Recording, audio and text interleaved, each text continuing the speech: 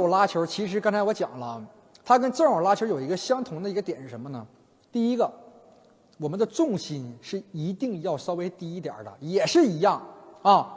我们蹲腿的同时，我们一定要记住了，我们可以把俩腿稍微的打开一点，就是空间大一点啊。哎，空间你看上旋球，看这是上旋球，看啊，这是上旋球的重心和这个脚的这种空间啊。上旋球可以这么打，那下旋球，我两个脚看，右脚往边上迈半步，左脚再迈再迈半步，重心它就下来了，非常简单。反手拉球的时候，我们可以把两个腿的这种脚尖冲向前方。可以说一下啊，反手拉球它会比较灵活一些。我打个比方说啊，我们不一定非得说我拉球一定要把力量压在左腿上，它不像正手，你不一定非得要压压在左腿上，你也不一定非得要压在右腿上，啊，我们可以压在左腿上，也可以压在右腿上，也可以放在两腿之间，都是可以的。这个怎么来讲呢？如果这个球在我左腿这个位置上多一些的话，那我自然的压左腿就可以完成拉球了，对不对？如果这个球它在我的右腿这个位置上多一些的话，我也不需要去移动太多的脚，我右腿一过来一压，直接重心就过来了，也可以直接拉了。球在我们的中间的时候了，我们就可以在两腿之间就可以完成了。但是我们脚底下也别说是完全站的死死的，哎，我稍微灵活一点看，啊，压左腿，哎，压右腿，你脚底下是稍微要有一点动，啊，但你的动的幅度不用太大，懂吗，朋友们？听懂听明白我的意思？你们记住我说的话，当你们的水平越来越提高的时候，都是在下旋球先起来的，而不是说在上腿找好了以后怎么去想呢？我先讲蹬腿顶胯啊。其实它蹬腿顶胯是一个道理，怎么去蹬腿顶胯呢？就是说我们是要去感觉这个胯啊，有人去推你的屁股一样，去往前去顶，啊，蹬腿就是往上蹬就行了。看腿往上蹬，但是你不要蹬直，是要给它蹬起来，就是也是一样，你蹬完以后感觉腿是蹬住地的，而不是完全蹬起来了，不是蹬直的。它蹬腿和顶胯也是一体的，不是分解的。同时，你去顶胯，啊，就是边蹬腿，你的屁股感觉是有人推你一样出去了，是这种感觉，也是一样。你往前顶的时候，不要顶太多，你自己感觉到，哎，我顶了就可以了，不需要太多。如果你要太多的话，就有点这种感觉了，就有点去挺肚子了，这是完全是。不太合适的动作，太高，啊，在自己的这个小腹的这个位置上，哎，小肚子这个地方上，在这儿去拉球动作，那你们这个空间是不够的。还有的人是放在自己的左腿的左左侧，哎，放在自己的左侧，这些都不利于你去拉下旋球。我不知道你们有没有看到一些咱们，哎，你放在自己的肚子这儿也好，或者你放在自己的身体这边也好。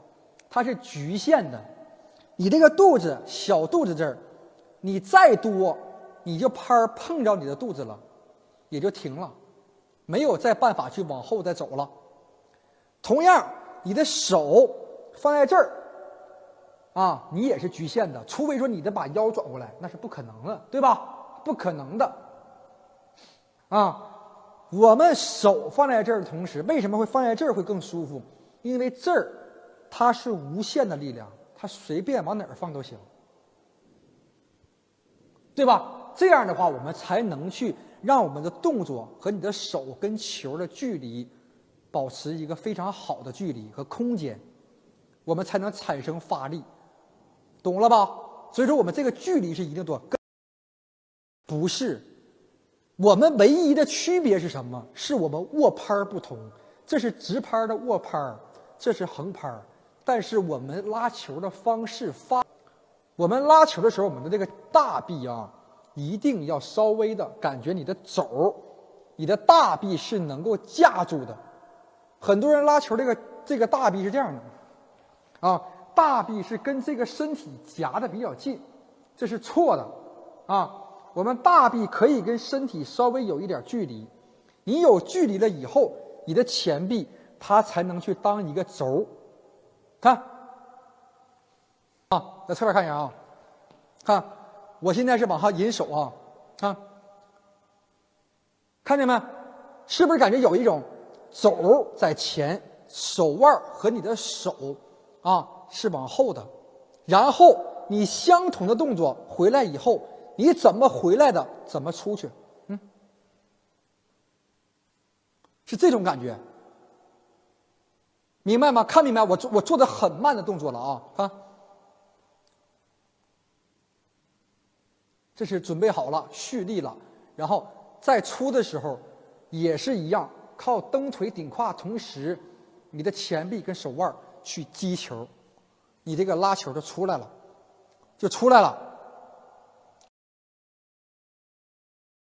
前臂它是一定要瞬间的发力的，明白吗？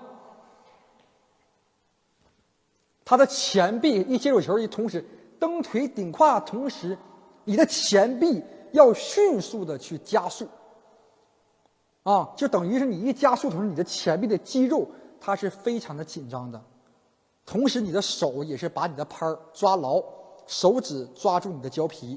啊，你的手指也会感觉顶拍的感觉，这就说明你的前臂真正发完球以后，手腕都跑这儿来了。为什么？是因为你们接球的一瞬间，你们没停住，你们停不住。你看我能停住，看我手腕是不是固定住了呀？就说明我的前臂用上劲儿了。那下降期，哎，这是一个下降期的高调，啊。然后动作是以往前上方稍微多一些，啊，和高点分球，啊，嗯，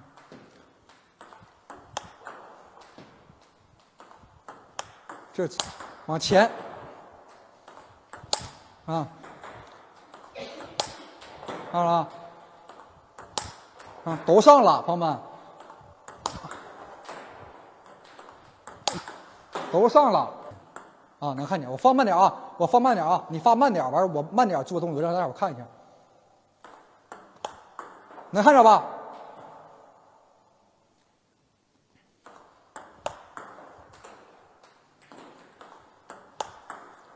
看着了吧？啊，同样，你看啊，我拿直拍其实我就是改变了一个握拍方式。你看我动作其实跟横拍是一样的，你们看一下。